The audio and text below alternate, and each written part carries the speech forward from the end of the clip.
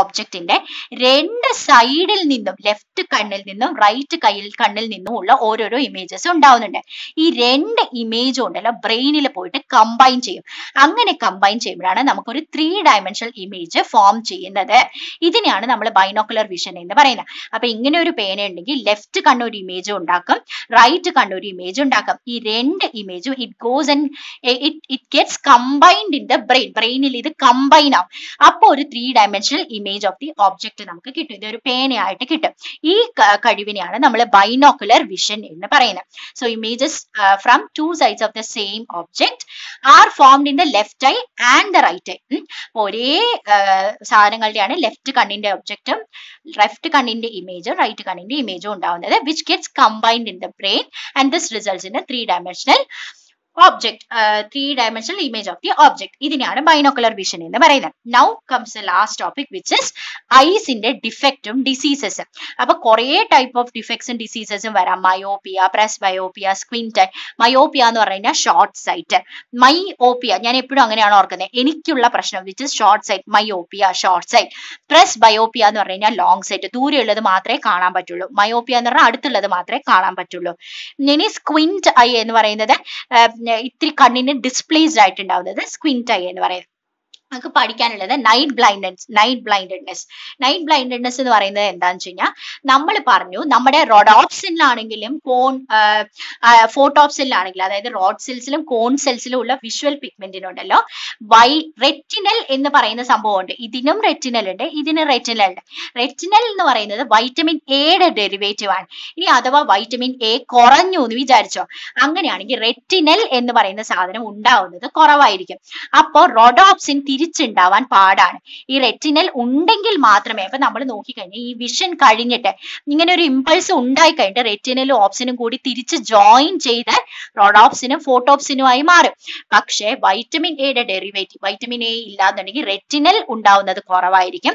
ഈ റെറ്റിനൽ ഓപ്ഷനിൽ നിന്നും തിരിച്ച് റോഡോപ്സിൻ ഉണ്ടാവുന്നതും ഭയങ്കര പാടായിരിക്കും. അങ്ങനെ വരുമ്പോൾ റോഡോപ്സിൻ തിരിച്ച് റീസിന്തസൈസ് ആവില്ല. കാരണം വൈറ്റമിൻ എയുടെ ഡെറിവേറ്റീവ് ആയ റെറ്റിനൽ ഇല്ല. വൈറ്റമിൻ എ ഇല്ലാത്തത് കാരണം. അതുകൊണ്ട് നമുക്ക് പ്രോപ്പർ ആയിട്ട് ഡിം ലൈറ്റിൽ കാണാൻ പറ്റില്ല. ഈ ഒരു അവസ്ഥ തന്നെയാണ് നൈറ്റ് ബ്ലൈൻഡഡ്നെസ് എന്ന് പറയുന്നത്. ഇനി സെറോപ്റ്റാൽമിയ കുറേ കാലം വൈറ്റമിൻ എ ഇല്ല എന്നുണ്ടെങ്കിൽ നമ്മുടെ കഞ്ചക്റ്റീവ നമ്മുടെ പുറത്തുള്ള പാട പോലത്തെ സാധനവും അതേപോലെ കോർണിയ മൊത്തമായിട്ട് കോർണിയ എന്ന് പറഞ്ഞാൽ ബൾസ്റ്റ് ഔട്ട് പാഷൻ പോർഷൻ അത് ഭയങ്കര ഡ്രൈ ആയിട്ട് ഒപ്പേക്ക് ആവും. ഉം. അതിങ്ങ് ഏർ എന്താ പറയാ ട്രാൻസ്പെറന്റ് മാറിയിട്ട് ഒപ്പേക്ക് ആവും. സെറോത്താൽമിയ അവസാനം ബ്ലൈൻഡ് ബ്ലൈൻഡ് ആക്കും നമ്മളെ. അതാണ് പ്രശ്നം. ഇനി അടുത്തത് എന്താന്ന് വെച്ച് കഴിഞ്ഞാൽ കളർ ബ്ലൈൻഡഡ്നെസ് കളർ ബ്ലൈൻഡഡ്നെസ് എന്ന് പറഞ്ഞാൽ നമ്മൾ പറഞ്ഞു നമ്മുടെ കണ്ണിന്റെ റെറ്റിനയിൽ ഉണ്ടല്ലോ പല കോൺ സെൽസ് ഉണ്ട്. റെഡ് ഗ്രീൻ ബ്ലൂ ചില ആൾക്കാർക്ക് പക്ഷെ green colour red colour cone സെൽസിന്റെ ചില പ്രശ്നങ്ങൾ കാരണം ഗ്രീൻ കളറും റെഡ് കളറും തിരിച്ചറിയാൻ പറ്റില്ല. ഇതിനെയാണ് കളർ ബ്ലൈൻഡ്നെസ് എന്ന് പറയുന്നത്. ഇത് എപ്പോഴാണ് വരുന്നത്? കോൺ സെൽസിന്റെ പ്രശ്നം കാരണമാണ് വരുന്നത്. പല ടൈപ്പ് മൂന്ന് കോൺ സെൽസ് ഉണ്ട്. അപ്പൊ ആ കോൺ സെൽസിന്റെ പ്രശ്നമുള്ളത് കാരണം റെഡ് കളറും ഗ്രീൻ കളറും തമ്മിൽ തിരിച്ചറിയാൻ പറ്റില്ല. അപ്പൊ ഇത് ഭയങ്കര കമ്പൾസറി ടെസ്റ്റ് ആണ്. പൈലറ്റ് ആവാനും അതേപോലെ മിലിറ്ററിയിലൊക്കെ കയറുമ്പോഴത്തേക്കും കളർ ബ്ലൈൻഡ്നെസ് ഉണ്ടാവാൻ പാടില്ലാതെ ഭയങ്കര ഇമ്പോർട്ടന്റ് ആണ്. ഇനി ഗ്ലോക്കോമ എന്ന് പറയുന്ന ഒരു അസുഖമുണ്ട്. അതെന്താന്ന് പറഞ്ഞു കഴിഞ്ഞാൽ അക്വസ് ഹ്യൂമർ എന്ന് പറയുന്നത് നമുക്കറിയാം അക്വസ് ഹ്യൂമർ എന്ന് പറയുന്നത് ലെൻസിന്റെയും ഇതിന്റെ ഇടയിൽ കാണുന്ന സംഭവമാണെന്ന് നമ്മൾ പഠിച്ചതാണ് അല്ലെ? അക്വസ് ഹ്യൂമർ ഇതിന്റെ ഇടയിൽ കാണുന്ന സംഭവമാണ്. അപ്പൊ ഈ അക്വസ് ഹ്യൂമർ എന്ന് പറയുന്നത് ഉണ്ടല്ലോ അത് ശരിക്കും നമ്മുടെ കണ്ണിന്റെ ടിഷ്യൂസിനെയൊക്കെ നറിഷ് ചെയ്യുന്ന സാധനമാണ്. പക്ഷെ ഈ നമ്മൾ പറഞ്ഞു ബ്ലഡിൽ നിന്നാണ് അക്വസ് ഹ്യൂമർ ഉണ്ടാവുന്നത്. ബ്ലഡിലേക്ക് തിരിച്ച് റീ അബ്സോർബ് ചെയ്യും. പക്ഷെ ചില കേസസിൽ ഈ റീ അബ്സോർപ്ഷൻ അങ്ങ് നടക്കില്ല. അപ്പൊ അക്വസ് ഹ്യൂമർ അങ്ങ് കൂടിക്കൊണ്ടേയിരിക്കും. അപ്പൊ നമ്മുടെ കണ്ണിന്റെ ഉള്ളിലത്തെ പ്രഷർ ഭയങ്കരമായിട്ട് കൂടിയിട്ട് അത് റെറ്റിനേനെ ഫോട്ടോ റിസെപ്റ്റേഴ്സിനെ എല്ലാം ഈ പറയുന്ന പോലെ നശിപ്പിക്കും. ഈ ഒരു അവസ്ഥേനെയാണ് ഗ്ലോക്കോമ എന്ന് പറയുന്നത്. ഇവിടെ അങ്ങ് അക്വസ് ഹ്യൂമർ കൂടി കൂടി കൂടി വന്ന് ഇവിടെ അങ്ങ് ഭയങ്കരമായിട്ട് പ്രഷർ കൂടിയിട്ട് അവസാനം അങ്ങോട്ട് പുറകിലേക്ക് തള്ളി തള്ളി ഈ റെറ്റിനെയും ഫോട്ടോ റിസെപ്റ്റേഴ്സിനെ എല്ലാത്തിനെയും നശിപ്പിക്കും. അപ്പൊ ഈ ഒരു അവസ്ഥേനെയാണ് ഗ്ലോക്കോമ എന്ന് പറയുന്നത്. അൾട്ടിമേറ്റ്ലി ഇതിനെ നമുക്ക് കുറച്ച് ലേസർ സർജറി വെച്ചിട്ട് ഈശ്വരാനുഗ്രഹം കൊണ്ട് റിമൂവ് ചെയ്യാൻ പറ്റും ഗ്ലോക്കോമേനെ റിമൂവ് ചെയ്യാൻ പറ്റും. ഓക്കെ ഇനി കാറ്ററാക്ട് എന്ന് പറയുന്നത് ലെൻസ് തന്നെ ഒപ്പേക്കാണ് ലെൻസ് ഒപ്പേക്കായി മാറി അൾട്ടിമേറ്റ്ലി ബ്ലൈൻഡ് ആയിട്ട് വരുന്നതിനെയാണ് നമുക്ക് കാറ്ററാക്ട് എന്ന് പറയുന്നത്. അപ്പൊ നോക്കിക്കഴിഞ്ഞാൽ ഈ ലെൻസ് ട്രാൻസ്പെറന്റ് ആണ്. ട്രാൻസ്പെറന്റ് ആണെങ്കിൽ മാത്രമേ റിഫ്രാക്ട് ചെയ്തിട്ട് ലെറ്റിനിലേക്ക് കൊടുത്തയക്കാൻ പറ്റുള്ളൂ ലൈറ്റിന് പക്ഷെ ഇത് കയറി അങ്ങ് ഒപ്പേക്കാം ഒപ്പേക്കായി കഴിയുമ്പോഴത്തേക്ക് ലൈറ്റ് കടത്തി വിടില്ല. ആൻഡ് അൾട്ടിമേറ്റ്ലി ഇത് ബ്ലൈൻഡ് ആവും.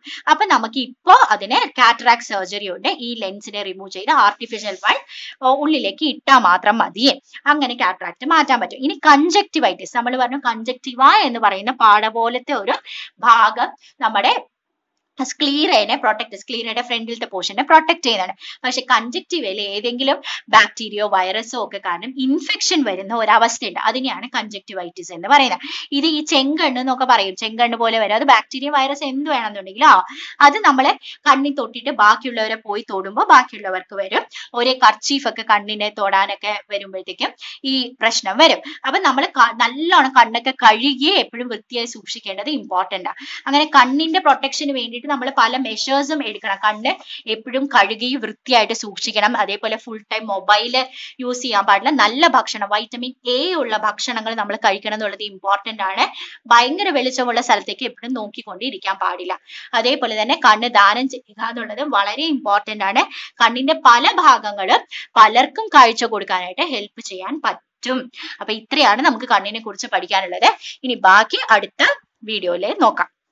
സോ ഈ വീഡിയോ ഇഷ്ടപ്പെട്ടിട്ടുണ്ടെങ്കിൽ നിങ്ങൾ മാക്സിമം ഇത് ഷെയർ ചെയ്യുക. മാക്സിമം കുട്ടികൾക്ക് പ്രയോജനം വരാൻ വേണ്ടിയിട്ടാണ്. അതേപോലെ ഈ ചാനൽ സബ്സ്ക്രൈബ് ചെയ്യുക ബാക്കിയുള്ള വീഡിയോസ് വരുമ്പോൾ നിങ്ങൾക്ക് അപ്പം നോട്ടിഫിക്കേഷൻസ് വരും. താങ്ക്